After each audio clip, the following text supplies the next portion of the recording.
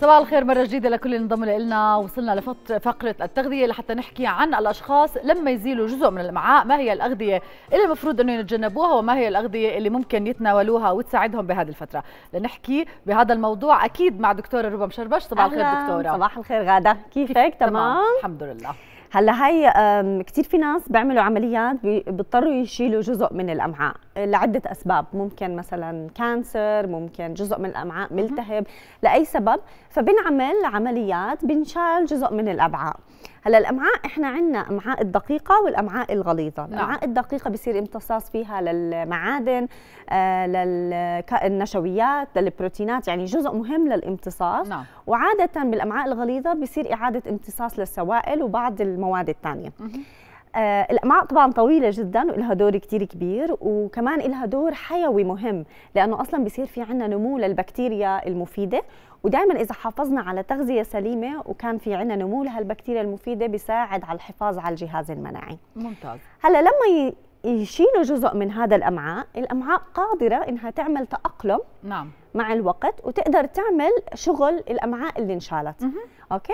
بس المشكلة اللي بيعاني منها معظم المرضى بعد هاي العمليات إنه بيعانوا من بعض الأعراض اللي بتنتج عن إشالة أو إزالة جزء من الأمعاء. جزء من الأمعاء. نعم. زي إيش دكتورة؟ مم. يعني إيش أكثر شيء ممكن الواحد إنه يعنيه لما تنزال الأمعاء؟ بلوتينج أو يمكن نشفان أو صح. كيف؟ هلأ بصير عندهم أعراض ممكن من أهمها الغازات والنفخة. فبصفوا كثير خايفين من أي شيء ياكلوه لأنه كل شيء ممكن يعمل لهم نفخة وعدم ارتياح في منطقة البطن. مم. ممكن يعانوا من فقدان للسوائل بشكل كتير كبير جفاف ناتج عن الإسهال. يعني ممكن أولها يعانوا من إسهال مزمن. فإحنا بدنا نحاول بالتغذية نساعدهم إنه نخفف من حالات الإسهال. وممكن يعانوا حتى من فقدان وزن زيادة عن اللزوم. تمام؟ فإحنا بالتغذية وبال بال بالنظام الغذائي بنحاول إنه نفخ نخفف من الغازات والنفخة والأعراض اللي بتصير لأنه كمان بصير في الام بالبطن خاصة بعد تناول الطعام ونخفف من أعراض الجفاف أو فقدان الوزن الزيادة عن اللزوم. تمام. تمام؟ هلا شو بدنا نعمل بالتغذية؟ بالضبط. إيش لازم ناكل وإيش لازم نبعد عنه. بالضبط. هلا أول شيء بدهم يركزوا عليه إنهم ياخذوا كميات كافية من البروتين. نعم. أوكي؟ هلا عادة أكثر شيء أسهل لأنه في بيقدروا ياخذوا بروتينات نباتية. آه بس مشكلتها إنه أولها البروتينات النباتية ممكن تعمل نوع من النفخة. نفخة. طبعا لأنه هي موجودة بالبقوليات اللي ممكن تخلينا نتعرض بالضبط يعني نعم. عدس برغو عدس فاصوليا حمراء فاصوليا بيضاء بيقدروا يدخلوها يمكن مش من أول العملية لكن بعدين وبدخلوها على جرعات بسيطة. يعني ممكن يبدوا بربع كوب ثلث كوب شوي شوي ليقدروا يستحملوا هاي الكميه نعم.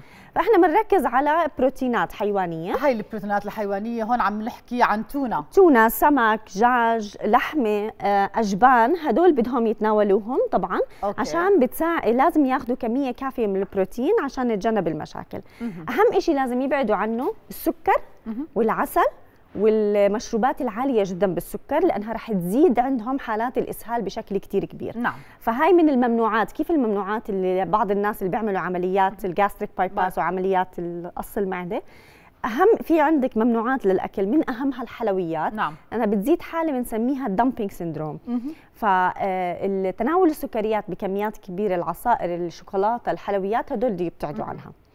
فخلينا نمشي فيهم إذا اذا أول شيء قلتي إنه لازم يتناولوا الكثير من البروتين بالزبط. وإحنا ممكن يوجدوه بالسمك وبالتونة. سمك دجاج لحمة كمان بيقدروا عادي كل هذا بس المهم إنه ما يكون في زيوت كثير ودسم كثير أطعمة مقلية لأنه رح تزيد عندهم حالات الإسهال. وهون عم بنشوف آه. ناتس أو هلأ المكسرات من الأشياء اللي يفضل يبتعدوا عنها. آه هلأ هلأ في أطعمة عالية جدا بالأوكزاليت وهي ممكن تزيد مشاكل الحصى. يعني إحنا هدول الأشخاص معرضين لحدوث حصى الكلى فبدي يبعدوا عن الأطعمة العالية جدا أو المسببة للحصى زي القهوة والشاي والمكسرات والشمندر والخضار الورقية زي السبانخ. هدول بدهم يبتعدوا عنهم أول فترة عشان ما يتعرضوا لحدوث الحصى. تمام؟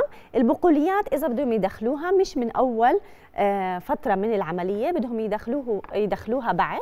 ولما بدهم يدخلوا البقوليات أول شيء ينصح إنه لما نطبخها الفاصوليا الحمراء الفاصوليا البيضاء تنتقع بالمي فترة منيحة. منيحة. أوكي. عشان نخفف من المواد المسببة للنفخة اللي بنسميها oligosaccharide ولما بده يتناولوها بده يتناولوها تدريجيا. تمام. تمام؟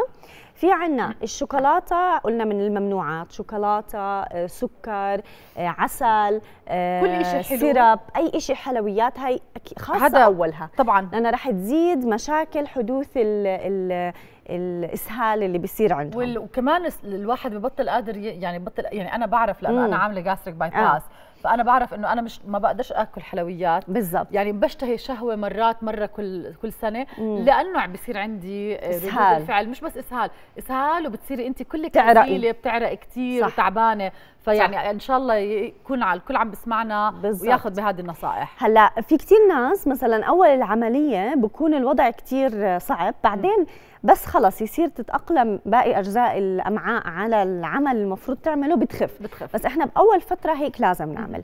بدنا نركز إنه عم بياخذوا بروتين نقسم وجباتنا خلال النهار يعني ما بزبط ياكلوا وجبة واحدة في اليوم لأنه ممكن تزيد الغازات نعم. والنفخة والإسهال. تمام؟ تمام. طيب. هلا بالنسبة للحليب والألبان أيوه. إحنا بنفضل أول فترة ياخذوا lactose free diet يعني حمية خالية من اللاكتوز نعم. فممكن ياخذوا حليب خالي من اللاكتوز تمام. أو ممكن اللبن اللبن قليل جدا بسكر اللاكتوز فممكن يتناولوه بكميات بسيطة. مهم. فهون بدهم ينتبهوا آه، للكمية. شيء ثاني بدنا نركز عليه آه، بما إنه التغذية لازم تكون قليلة جدا بالألياف يعني مش يعني بنعطيهم ألياف ولكن مش بكميات كبيرة. نعم. فشو بدنا نعمل؟ خضار وفواكه بيقدروا يتناولوا بس يفضل إنها كلها نقشرها. أوكي. وفي بعض الخضار اللي يفضل نبتعد عنها يعني مثلا خيار جزر آه، بيقدروا ياكلوا. خس بيقدروا ياكلوا. فاصوليا خضراء بيقدروا ياكلوا. بس مثلا بروكلي ملفوف آه، زهرة الأشياء اللي بتعمل غاز ونفخة يفضل يبتعدوا عنها. آه والله. ويفضل إنه يقشروا الفواكه والخضار عشان تخفف كثير من الألياف. حتى التفاح. حتى التفاح. أوكي. تمام؟ تمام. آه وأول مرحلة مش غلط إنه يكون مثلا زي التفاح مهروس شوي أو مسلوق نتفة صغيرة عشان يخفف من أعراض الإسهال والنفخة. نعم. اللي بده ياخذوا كميات ألياف ولكن مش كميات كبيرة. مهم. حتى ممكن ننتقل من الخبز الأسمر للخبز الأبيض. أو خبز الشوفان والشعير عشان ما ياخذوا آه، الخبز اللي فيه حبوب كاملة كبيرة تزيد من مشاكل الإسهال عندهم. تمام. تمام؟ بالنسبة للبطاطا آه، حتى البطاطا الحلوة العادية يفضل إنه يقشروها. أها عشان. يخففوا ما يتناولوها بالقشرة. وفي عندنا البصل العادي البصل الأخضر التومة.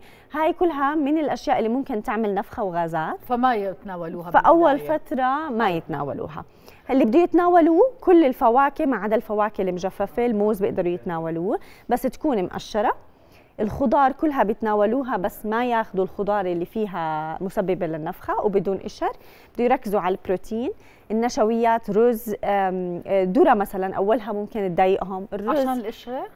آه عشان, عشان. ال fiber الموجود ال fiber. بالبرة. أوكي. فهذا ممكن يزيد. وبده ينتبهوا لا ممكن يضطروا يحتاجوا في عنا بالمستشفيات وبالصيدليات طبعا تحت إشراف طبيب وأخصائي تغذية في آه، مشروبات خاصة للناس اللي بيعملوا العملية وما بيقدروا يتحملوا الأكل. فبنحاول نقسم لهم وجباتهم بس إذا حسينا في نزول كتير كبير بالوزن في مكملات بتكون سائلة نعم. آه، خالية من اللاكتوز وهاي الأشياء اللي ممكن تعمل نفخة وفيها كل ال vitamins والتغذية اللي بحاجة فممكن أولها نعطيهم على replacement للأكل طبعاً. يعني لبعض الوجبات. عشان نمنع الزياده الكبيرة بنزول الوزن يعني عشان نتجنب المشاكل هاي وطبعا بكل هذا الحكي اللي انت قلتي لنا إياه. إحنا لازم نعرف إنه بهذا الوقت لازم يحافظوا على السوائل اللي بيشربوها كل الوقت؟ بالضبط بده يقسموا وجباتهم ويقسموا السوائل وما يشربوا السوائل مع الوجبة وياخذوا المعادن والفيتامينات الموصوفة من الطبيب